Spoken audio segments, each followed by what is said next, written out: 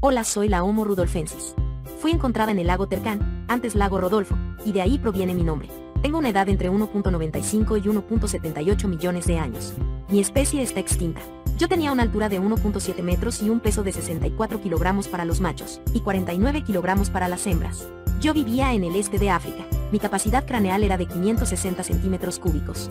El hallazgo de fósiles de Homo habilis y de Homo ergaster del mismo periodo en el norte de Kenia abre un interesante debate sobre la coexistencia de tres especies inteligentes al mismo tiempo.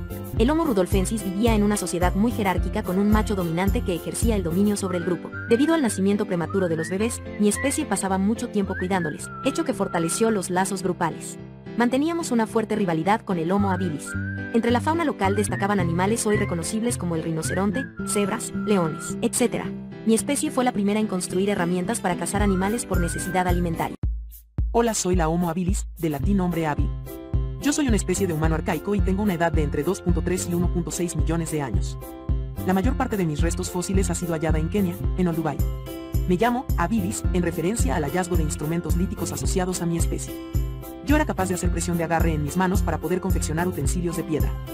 Mi especie presenta un incremento en el tamaño cerebral con respecto a los australopithecus, que se ha calculado entre 510 centímetros cúbicos y 600 centímetros cúbicos. Además, mi cráneo era más redondeado con la cara más corta, con molares grandes y con esmalte grueso y ausencia de diastema, que es la separación entre los premolares y los caninos. Los dedos de mis pies y manos eran curvos lo que indica que aún utilizábamos los árboles. Mi especie era fundamentalmente carroñera la posición bípeda en las hembras provocó una reducción de la pelvis, lo que tuvo como consecuencia un adelanto de los partos, lo cual implica un mayor tiempo dedicado a la crianza y así, la necesidad de mantener vínculos sociales fuertes, lo que va a traducirse en el desarrollo de una cultura. Hola, soy el Homo ergaster, que significa hombre trabajador. Yo habitaba en la zona de Etiopía, Tanzania, Kenia y Eritrea. Tengo una edad de aproximadamente 1.9 millones de años. El clima era muy árido y la sequía se prolongó durante unos 100.000 años. Mi capacidad craneal era de 880 centímetros cúbicos, mi estatura era de 1.60 metros y un peso de 65 kilogramos. Otros aspectos físicos de cambio fueron la manera de regular la temperatura interior, generando la sudoración, lo que provocó la pérdida del pelo corporal. Igualmente la respiración dejó de ser solo oral comenzando a respirar por la nariz, lo que permitió un mayor almacenamiento de energía y oxigenación, dando como consecuencia una mayor capacidad de movilidad, esencial para la supervivencia en la sabana. Mi especie fue la primera que pudo abandonar el continente africano adaptándose a otras áreas del planeta con diferentes condiciones climáticas.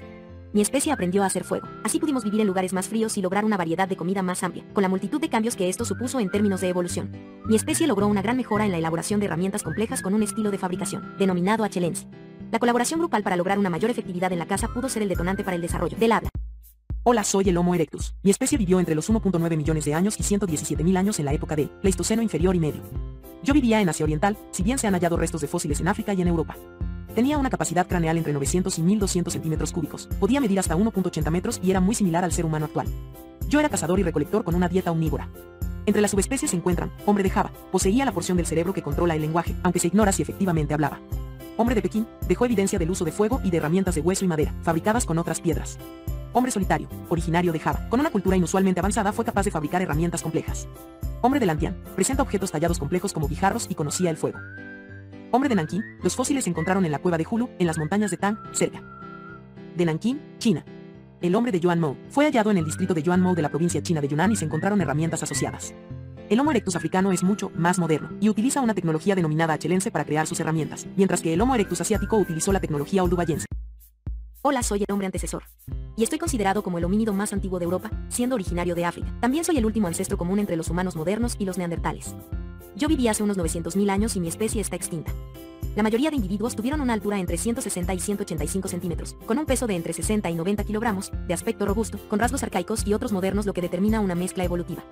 Mi cerebro de 1000 centímetros cúbicos era más pequeño que el del ser humano actual de 1300 centímetros cúbicos. Por estar expuesto a las bajas temperaturas del invierno, pude ser la primera especie de homínidos en usar pieles de animales como abrigo. Era nómada y vivía de la caza de animales como toros, bisontes y ciervos.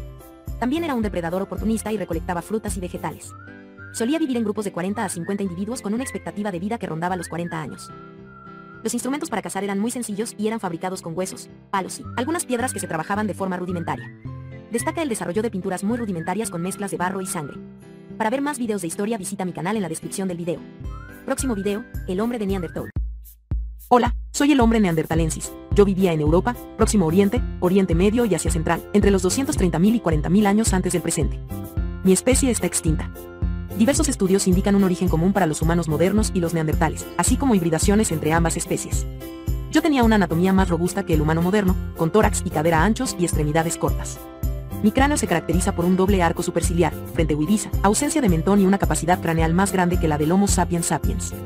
La población de neandertales fue relativamente constante durante los 200.000 años que existimos con unos 7.000 individuos solo en Europa.